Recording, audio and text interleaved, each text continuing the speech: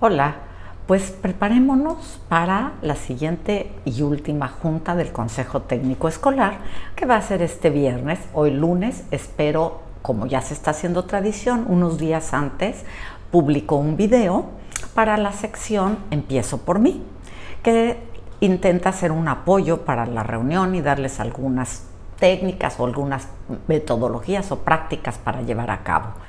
El tema de hoy es qué logré y dónde me tropecé en el área socioemocional.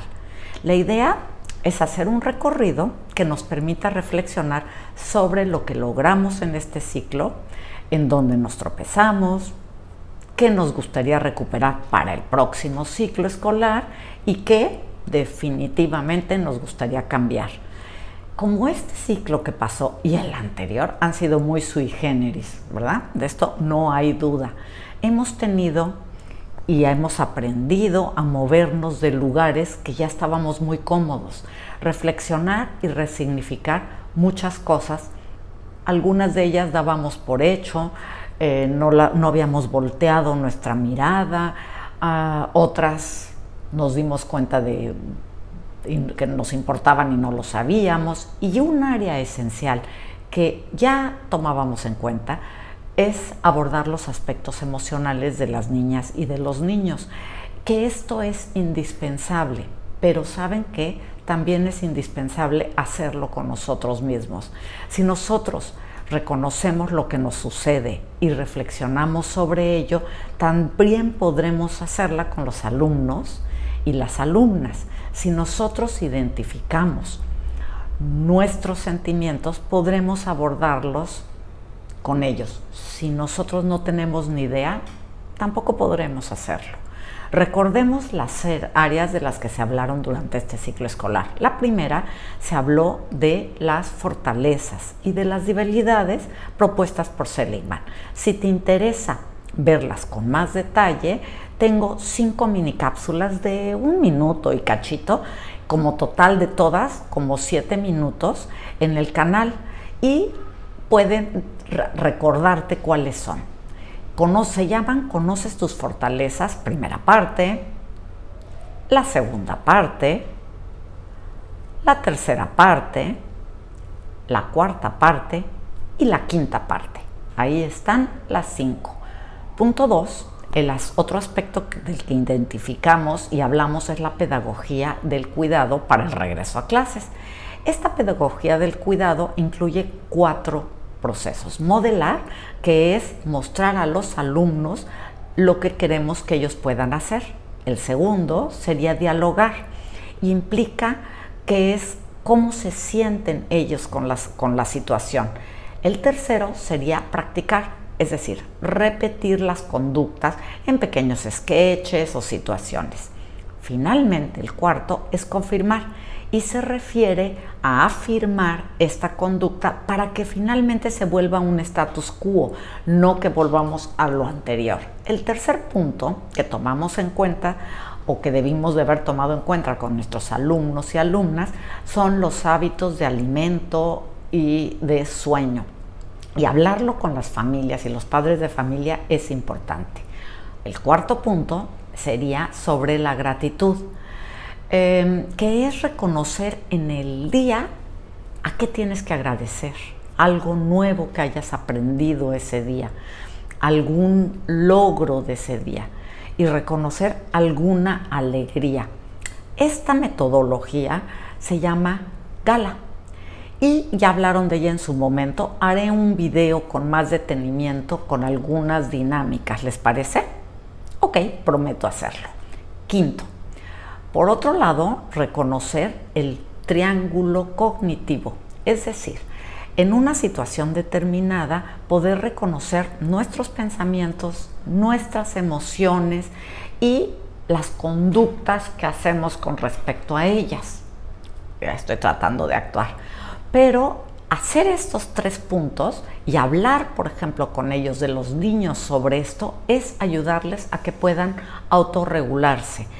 Y la autorregulación es algo que podemos aprender. Este, no, pero para eso podemos, tenemos que reconocerlos. ¿Ok?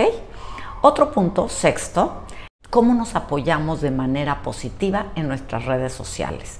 De esto también grabé este video que igual les interesa.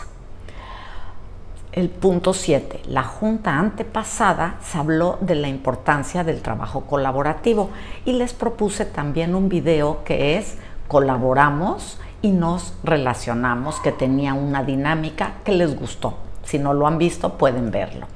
El octavo, para la junta pasada del Consejo Técnico Escolar, grabé la cápsula Lo que hago impacta y lo que dejo de hacer también, que infantiza lo importante que es voltear a ver nuestro entorno. ¿Se fijan cómo de alguna manera tenemos que voltear a vernos hacia adentro y hacia afuera? Al hacerlo, descubrimos probablemente cosas que no nos habíamos fijado.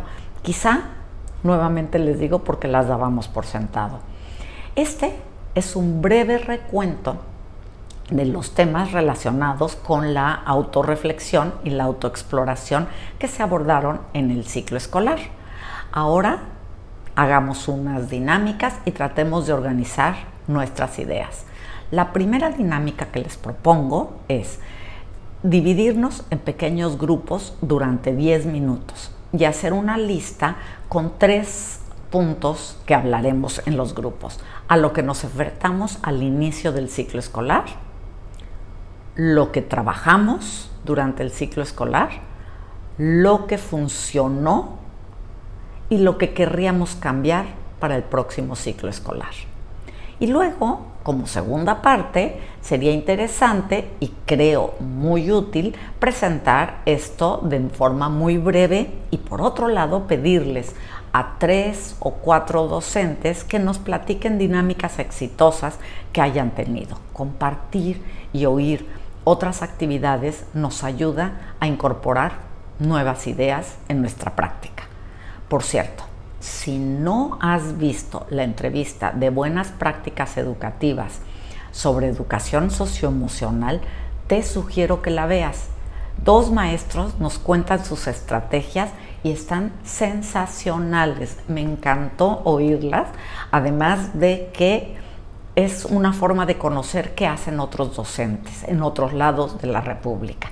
Y la segunda dinámica que les propongo, estoy segura que en su vida han hecho acrósticos. Bueno, pues vamos a hacer uno con las emociones de cada uno, que representen nuestras emociones. Por ejemplo, mi nombre, Aline.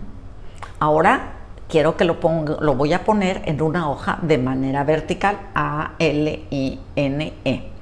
Muy bien, ya hice eso. Lo que ahora procede es poner una palabra de alguna emoción que caracterice esa letra conmigo. El chiste es con mi nombre porque así relacionamos mi ser con las emociones, ¿ok? Pero de cosas positivas. Y empezamos. A, alegre. Me gusta ver lo positivo de la vida. L, loca. Hago todo lo que viene a la mente. Y ingeniosa. Soy, tengo ideas ingeniosas. La N, soy noble. Trato de ser una amiga muy presente y la E, empática y entusiasta. Siempre busco estar riéndome de lo, y, viendo lo positivo. ¿Se fijaron que lo que puse son emociones positivas? Esa es la intención de reconocer nuestras fortalezas emotivas. Entonces les decía, compartan unos con otros lo que cada quien puso para su nombre. Por este tema, creo que es todo lo que voy a hacer hoy.